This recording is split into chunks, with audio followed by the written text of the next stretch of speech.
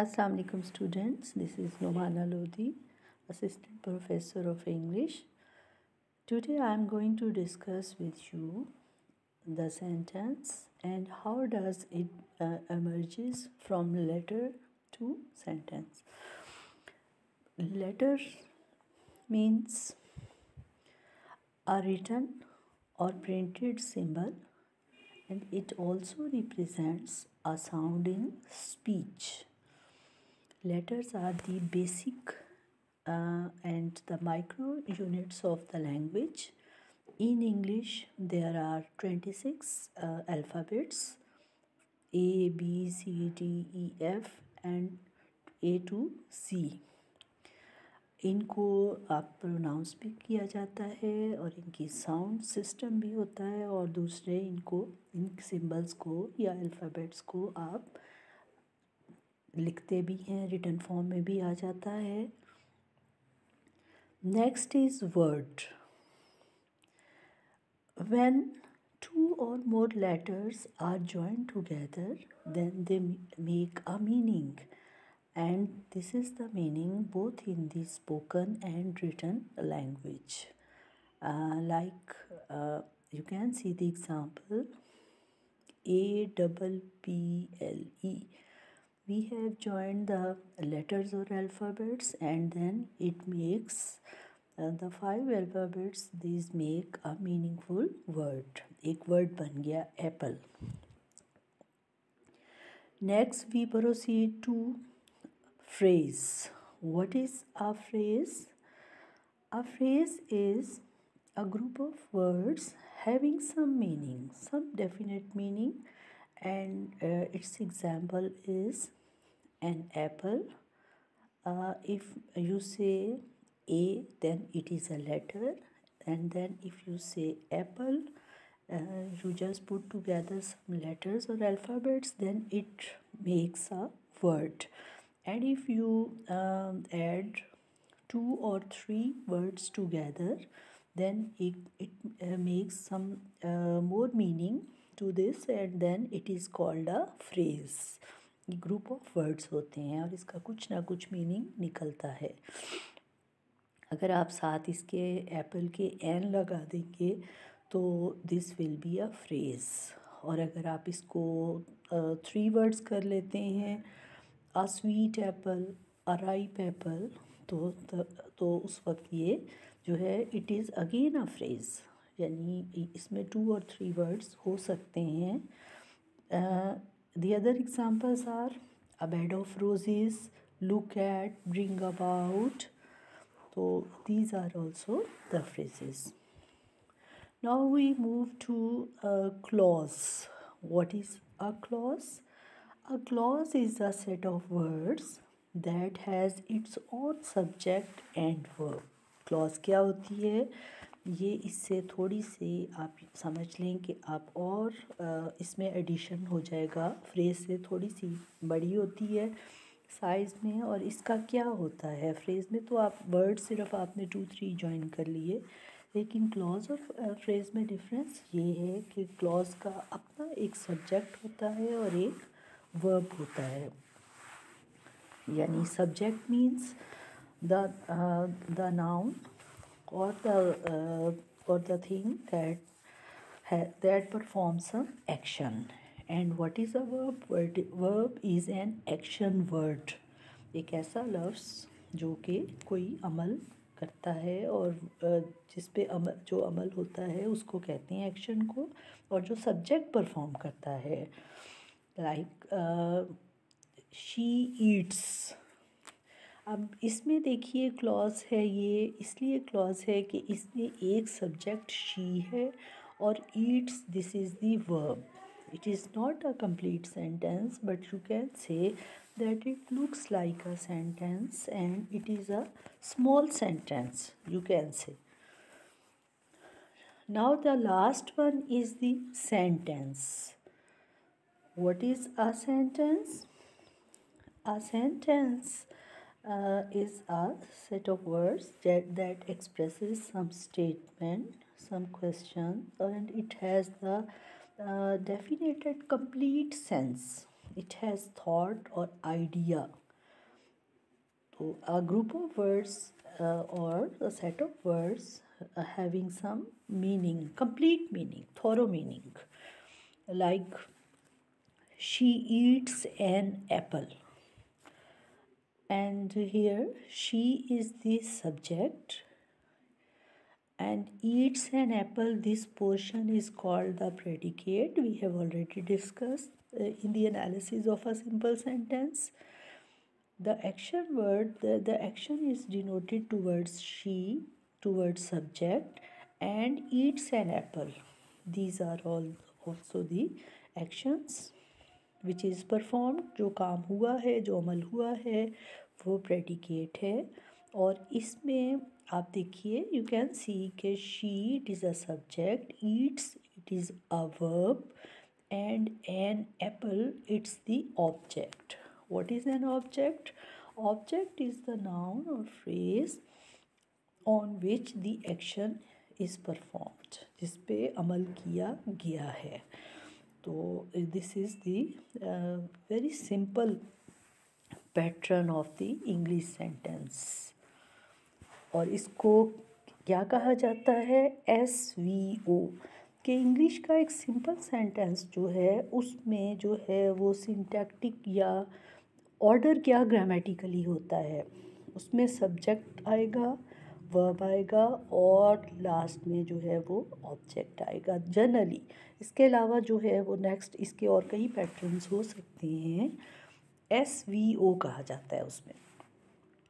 और अगर if I give you the example of the Urdu, अगर आप उर्दू को में देखें तो इसी सेंटेंस को अगर मैं उर्दू में बोलती हूँ कि शी ईट्स एन एप्पल तो इसकी उर्दू होगी वो एक सेब खाती है। वो जो है ये सब्जेक्ट है, एक सेब ऑब्जेक्ट और खाती है वर्ब है। तो इसमें जो है लैंग्वेज में, उर्दू लैंग्वेज में ऑर्डर इससे थोड़ा सा डिफरेंट है। वो क्या है? सब्जेक्ट तो दोनों में स्टार्ट में ही आ जाता है, लेकिन इंग्लिश में पहले वर्ब आता है, फिर ऑब्जेक्ट आता है, जबकि उर्दू में सब्जेक्ट के बाद जो है, वो ऑब्जेक्ट आता है जिस पे एक्शन होता है, और उसमें वर्ब जो है, वो बाद में आता है, यानी एस ओ वी पैटर्न कहा जाता है इसे। Now we come the, towards the definition. Definition of a sentence we can say sentence is a complete unit of meaning. A simple sentence consists of one clause often with a subject and a predicate. The subject is what the sentence is about and the predicate is a comment about the subject. So uh, this is the definition we can say it.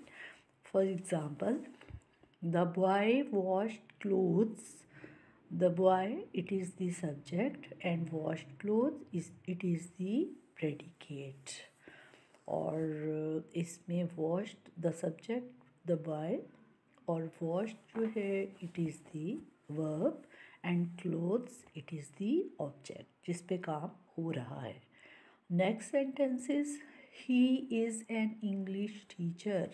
In this sentence, he is subject and is an English teacher. This this part is predicate.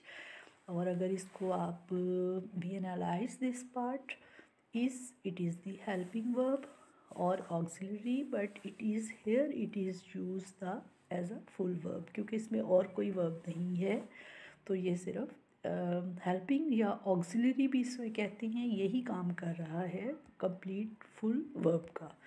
And it is the it is the article English teacher English it is the it is the noun and teacher it is the also noun और English जो है वो आप इसको uh, ये भी कह सकते हैं कि एक कॉम्प्लीमेंट है। Syntactic features of five sentence elements. अभी मैंने आपको बताया था कि एक सेंटेंस जो है उसमें सब्जेक्ट वर्ब ऑब्जेक्ट नॉर्मली यही होता है जनरली लेकिन इसके अलावा इसमें कॉम्प्लीमेंट और एडवर्ब भी हो, हो सकता है। Here subject number one subject number two verb number three complement complement की स्पेलिंग जो है, इसमें मुझे एक मिस्टेक दिख रही है। तो you can correct it C O M P L E M E N T और ऑब्जेक्ट और लास्ट वन एडवर्बियल है। सब्जेक्ट के लिए एस वर्ब के लिए वी कॉम्प्लीमेंट सी और ऑब्जेक्ट ओ और एडवर्ब और एडवर्बियल को ए कहा जाता है। Syntactic features of sentence elements how can an English sentence be what can be the pattern कौन सा वाला ग्रामेटिकली कौन सा पहले आता है सब्जेक्ट आता है वर्ब आता है, उसके बाद क्या क्या आ सकता है? These are the seven sentence patterns क्योंकि हमने analysis of a simple sentence किया है, ये सारे जो है, अब इन, इनसे सबसे जो है वो फेमिलियर हैं। He is sitting it is the S V S V का मतलब एस है सब्जेक्ट और वी है वर्ब इसमें सब्जेक्ट भी यूज़ हुआ है और वर्ब भी. ही सब्जेक्ट और is sitting it is the verb is is the helping verb और auxiliary or sitting is the main verb. And it is the continuous tense.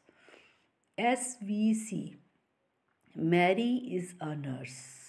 In this sentence, Mary is subject, is it is the verb and honors it is the it tells us the quality okay who is Mary complement C complement SVA Tom is in the house. Tom subject is verb or in the house it is the adverb. Adverb uh, I told you about the adverb. It tells us about the how action was performed, what, when, where, why, how. ये सारे questions का answer देता है adverb S V O I love you I, it is the subject, love, it is the main or complete verb है और you it is the object S V O C he made her happy S यानी subject is he made it is the verb V और her happy her it is the it is the object and happy it is the complement object her, यानी इस पे जो action हो रहा है और happy it shows the it it is the quality और the condition it is the adjective adjective और इसी को कॉम्प्लीमेंट कहा जाता है। S V O O he gave me a rose now just do it. In this sentence, s और subject is he gave is the verb यानी V और there are two O me object and a rose it is also the object in this sentence you can see there are the two objects last time हमने किया था analysis में ही कि there may be two objects more than one one is the direct and other is the indirect अब यहाँ पे इस सेंटेंस में you just think about it कि me it is one object and a rose it is the other इनमें से कौन सा डायरेक्ट है और कौन सा इनडायरेक्ट है? तो a rose it is the direct object and me is is indirect object object. Both objects O o लिखा हुआ है ना इसमें। नेक्स्ट है S V O A he is S यानी सब्जेक्ट है. पुट इज़ वी यानी वर्ब है. और it it is the object he put it यानी एक्शन इस पे हुआ है. इसने उसे उसे या इसे जो है वो रखा.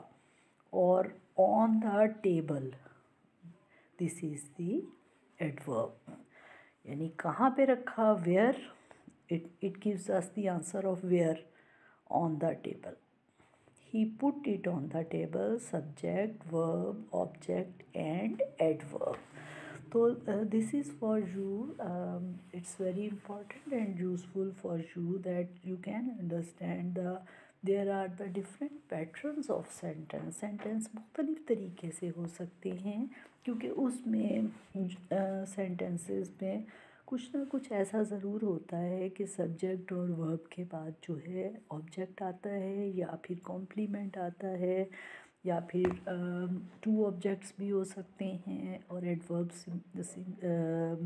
सिर्फ़ एडवर्ब भी हो सकता है या साथ भी ये जो है वो या फिर एडजेक्टिव या कॉम्प्लीमेंट भी हो सकता है। Now we come to words the types of sentences there are two types of sentences one is the according to use purpose and meaning यानी जब भी आपको टाइप्स या काइंड्स मिलेंगी सेंटेंसेस की, जुमलों की इकसाम तो वो मुख्तलिफ़ तरीके की होंगी। टू टाइप्स होती हैं। एक तो वो है जिनकी which are based on the use किस तरह इस्तेमाल होते हैं या उनका मकसद क्या होता है? पर्पस और उनकी मीनिंग या मानी या मतलब मफहूम क्या होता है मानी के लिहाज से। तो there are five sentences which are based on the use purpose और meaning declarative interrogative assertive exclamatory and optative.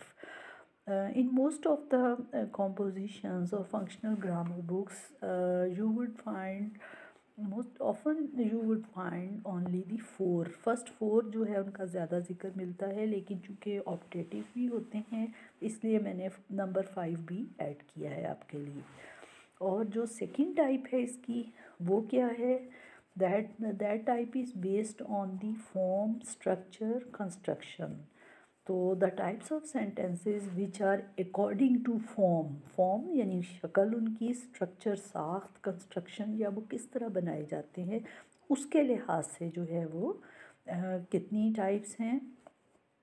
उसके लिहाज से फोर टाइप्स हैं।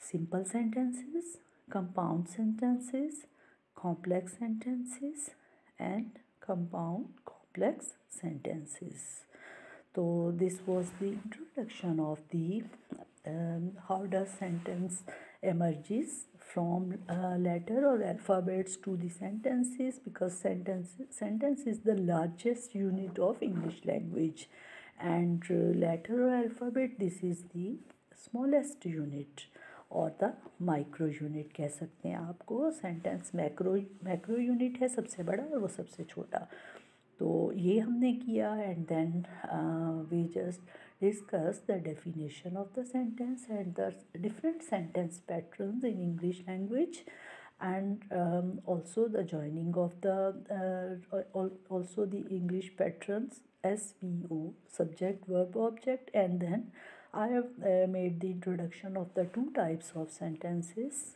um, now we will now we would discuss it in my other lecture it's enough for today. Inshallah we will discuss them one by one. Allah hafiz thanks for watching